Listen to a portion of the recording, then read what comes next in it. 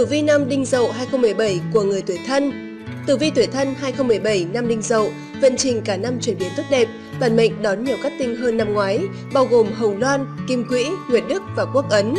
Xem tử vi tuổi thân năm 2017, người tuổi thân bước sang năm Đinh Dậu đã thoát khỏi ảnh hưởng của cục diện phạm thái tuế, vận trình trong năm chuyển biến tốt đẹp, bản mệnh đón nhiều cát tinh hơn năm ngoái, bao gồm Hồng Loan, Kim Quỹ, Nguyệt Đức và Quốc Ấn. Hồng Loan Tinh chủ đào hoa mang đến hỷ sự, đồng thời thúc đẩy nhân duyên tốt lành, thiết lập các mối quan hệ xã giao hữu hảo, trợ lực cho sự phát triển tương lai sau này. Kim quỹ đại diện cho sự hài lòng của tập thể hoặc lãnh đạo, nhưng không nhất thiết là thăng chức, nhưng chừng đó cũng đủ để bản mệnh lĩnh thưởng lớn vào dịp cuối năm.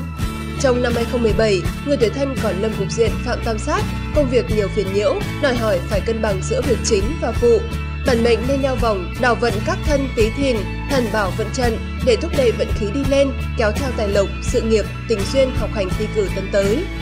Cát vận của người tuổi thân năm 2017 trong năm 2017, cát vận của người tuổi thân biểu hiện khả quan.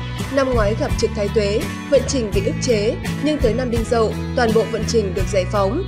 Hồng Loan cát tinh nhập mệnh giúp toàn bộ vận trình thăng cấp, bao gồm là lục vận, sự nghiệp, tình cảm, tài vận, vận quý nhân, đây là tinh tú mang tính toàn diện, có sức mạnh cực lớn. Người xưa còn cho rằng có hồng loan xuất hiện, hỷ sự áp theo cùng. Trong năm nay, mệnh chủ được các tinh này soi chiếu, tượng trưng cho con đường chính đạo, gặp giữ hóa lành, tránh hung gặp cát, bản mệnh phát huy thế mạnh, cầu gì được nấy, đạt được mong muốn bấy lâu. Hung vận của người tuổi thân năm 2017 dù các vận tung bay phơi phới, nhưng hung vận năm 2017 của người tuổi thân vẫn tiềm ẩn không ít nguy cơ, chớ coi thường.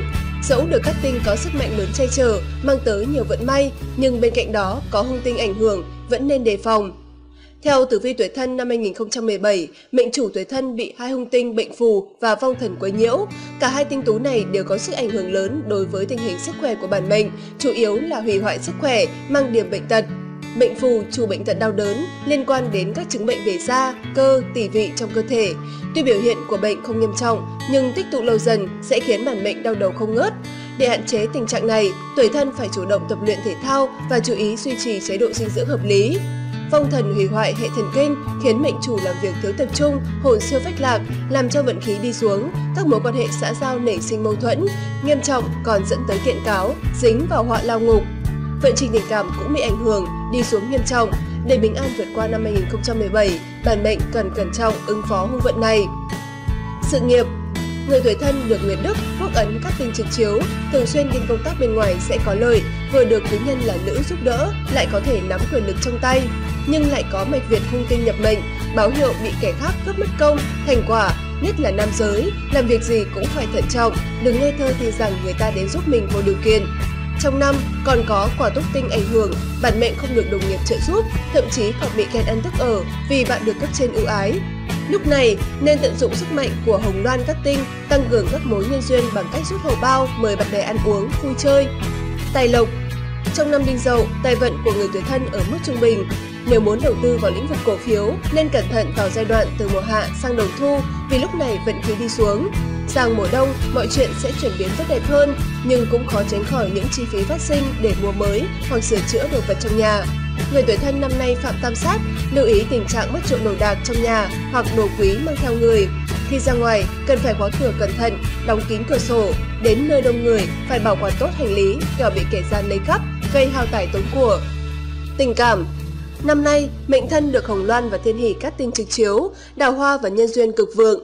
Đối tượng gặp được thuộc hàng lịch sự, nhã nhặn nên bản mệnh sẽ có lựa chọn ưng ý. Đối phương cũng khá chủ động trong chuyện tình cảm, khiến năm mệnh tuổi thân có phần bối rối. Thêm nữa, lại có kim quỹ nhập cung mệnh, những ai đã có công việc ổn định, kinh tế khá, không khó để tìm được nửa kia phù hợp và tiến tới hôn nhân. Bạn cũng nên chủ động tham dự các hoạt động tập thể, tiệc cưới hỏi hay sinh nhật, cơ hội gặp được ý trung nhân càng lớn.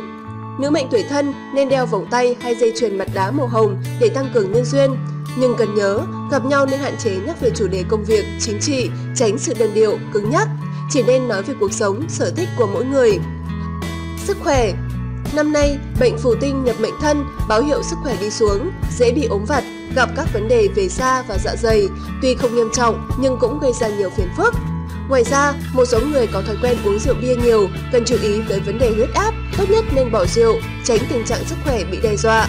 Bên cạnh đó, lưu tâm đến sức khỏe của người già trong nhà, thấy dấu hiệu bất thường phải đưa đi bệnh viện khám và điều trị ngay lập tức, đồng thời tiến hành kiểm tra sức khỏe định kỳ. Lấy tử vi năm 2017 của từng tuổi thân, vận trình người sinh năm 1956, Bính Thân. Với người tuổi Bính Thân, năm Minh Dậu lợi nữ không đợi nam, nếu vẫn còn tại chức, bản mệnh cần thận trọng thông từng lời ăn tiếng nói, xử lý thỏa đáng những vấn đề có trong công văn, hợp đồng, tránh tình trạng sơ ý mà phạm sai lầm, gây tổn thất lớn. Tài vận ở mức trung bình, nhưng mối quan hệ với những người thân trong nhà hài hòa, có cơ hội gặp gỡ, trò chuyện cùng con cái nhiều hơn so với năm ngoái. Gia đình trong ấm ngoài êm, thúc đẩy tinh thần tuổi bính thân thêm sảng khoái, từ đó giảm áp lực trong công việc, sức khỏe dồi dào, không mắc bệnh nghiêm trọng. Vận trình người sinh năm 1968, Mậu Thân, Xem tử vi năm 2017, công việc của người tuổi mậu thân gặp nhiều trở lực lớn. Nếu thường xuyên phải ra ngoài công tác, cần chuẩn bị tâm lý sẵn sàng đón nhận sự việc bất thuận xảy ra. Trong năm bản mệnh được hưởng chút lục lá bên ngoài, phàm là chuyện đi đêm nên xử lý thận trọng, đừng để xảy ra điều tiếng hoặc tự mình sập bẫy kẻ xấu. Đầu tư kinh doanh có nhiều cơ hội phát triển, tuy nhiên rủi ro cũng lớn. Nhưng tục ngữ có câu, trong hiểm nguy tàng phú quý, có sông pha, quyết đoán mới gặt hái được thành quả rực rỡ cần phân tích khách quan mọi vấn đề, tính toán rõ ràng và biết điểm dừng thì có tỷ lệ thành công cao. Mà sức khỏe cần lưu ý bảo vệ gan tạng, tỷ vị, hạn chế uống rượu, hút thuốc lá, ăn nhiều rau xanh, khi ra ngoài lấy an toàn làm trọng. Vận trình người sinh năm 1980, canh thân Sự nghiệp của người tuổi canh thân khá vất vả trong năm đinh dậu, nhất là những ai tự lập cơ ngơi riêng, vất vả đủ đường, nhưng lại có thể bội thu, được đền đáp xứng đáng. Người làm công ăn lương nên chủ động tiếp xúc với lãnh đạo, thẳng thắn thể hiện mong muốn cá nhân, được quý nhân trợ giúp, cơ hội thăng tiến của bạn không hề ít. Người độc thân chịu áp lực lớn về mặt tình cảm, nửa cuối năm bản mệnh đau đầu vì chuyện hôn nhân, tinh thần xuống dốc không phanh, nghiêm trọng còn ảnh hưởng tới công việc và cuộc sống thường nhật.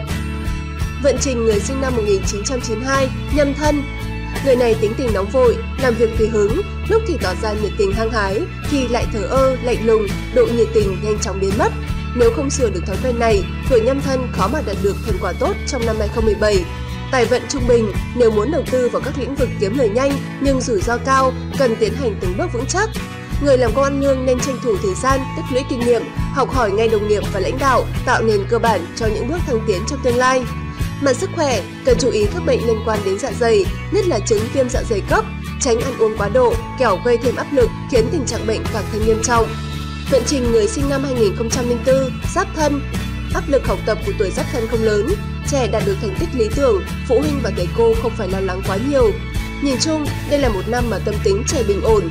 Nếu có điều kiện, gia đình nên cho trẻ tham gia các hoạt động ngoại khóa, tăng cường nhận thức thế giới xung quanh, tăng năng lực giao tiếp và tổ chức. Bởi có những kiến thức chỉ khi đi vào thực tiễn, trẻ mới được thực sự lĩnh hội. Mặt sức khỏe, chú ý các bệnh liên quan tới hệ hô hấp, hạn chế đưa trẻ tới những nơi đông người, tích cực đi dã ngoại, tiếp xúc với thiên nhiên để hít thở không khí trong lành, có lợi cho sức khỏe. Hóa giải Tử vi tuổi thân 2017, vận trình người này phạm vào thái tuế trong năm đinh dậu, thuộc biến quẻ, ảnh hưởng trực tiếp tới vận khí của bạn. Nếu vận khí trong năm bính thân thấp, bạn sẽ phải đối diện với một cửa ải vô cùng lớn. Nếu vận khí năm bính thân tốt, thì vận khí năm 2017 cũng sẽ tốt hơn. Người này có vận trình Thái Dương, thích hợp với việc tấn công, động não tư duy thì mới phát đạt. Tốt nhất bạn nên làm tốt công việc chăm sóc quan hệ xã giao, hóa giải mọi kẻ địch. Tài lộc cắt lợi nhưng chi tiêu cũng rất mạnh. Năm Đinh Dậu giúp bạn có khả năng lĩnh hội cao, trí tuệ ưu việt. Hãy hưởng thụ những ngày tháng phong phú này nhé. Ba hướng tốt trong năm 2017: Đông, Tây Nam và Đông Nam. Nếu có điều kiện, nên đặt giường ngủ, bàn làm việc, sofa ở ba vị trí này sẽ cải thiện được phần nào vận trình của bạn. Nếu không thể thay đổi bố cục nơi ở thì nên tránh đặt ba đồ dùng quan trọng ở vị trí đông và bắc, tuân theo đạo tránh hung từ xa. Cảm ơn các bạn đã quan tâm theo dõi chương trình Tử vi của Lịch Ngày Tốt. Để biết thêm nhiều thông tin trong năm 2017, mời các bạn truy cập vào website lịch ngày tốt.com hoặc fanpage Lịch Ngày Tốt. Xin chào và hẹn gặp lại ở chương trình lần sau.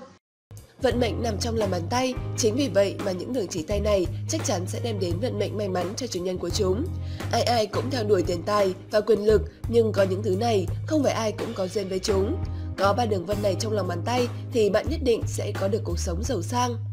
Đường vân kéo dài từ ngón vô danh và ngón út. Người mà không 8 giấc mơ tiết lộ bí mật tương lai các bạn thân mến, có rất nhiều giấc mơ dự báo về những chuyện sẽ xảy ra trong tương lai mà bạn gặp phải. Thật khó tin phải không? Cùng lịch ngày tốt khám phá 8 giấc mơ tiết lộ tương lai nhé! 1. Dụng răng Rất nhiều người cho rằng trong giấc mơ thấy cảnh dụng răng là tượng trưng cho kỳ vọng và con cái. Tuy vậy, bởi răng là phần tương thông với sự tự tin của con người, bởi vậy dụng răng cũng có 7 điều khổng tử dạy để nhìn ra quân tử và tiểu nhân. Các bạn thân mến, trong giáo dục làm người, thường dùng quân tử làm hình mẫu nhân vật để hướng đến. Vậy như thế nào để dễ dàng nhận ra quân tử và tiểu nhân? Khổng tử dạy chúng ta nhìn vào 7 đặc điểm dưới đây, cùng liền ngày tốt theo dõi nhé! 1. Trí tuệ Người quân tử trước sau đều giữ vững mình, không lay động, kẻ tiểu nhân luôn luôn ở trong suy tư lo nghĩ. Người quân tử khám phá số mệnh của người có bàn tay chữ M. Nếu bạn là chủ nhân của bàn tay hình chữ M thì bạn có thể thở phào nhẹ nhõm bởi vì một cuộc sống vô cùng giàu có cùng sự nghiệp thăng hoa đang chờ đón bạn. Cùng theo dõi lịch ngày tốt để tìm hiểu hơn về vận mệnh của người có bàn tay hình chữ M nhé! Theo nhân tướng học, người may mắn sở hữu bàn tay chữ M vô cùng giàu sang, may mắn. Theo trang healthyworldhouse.com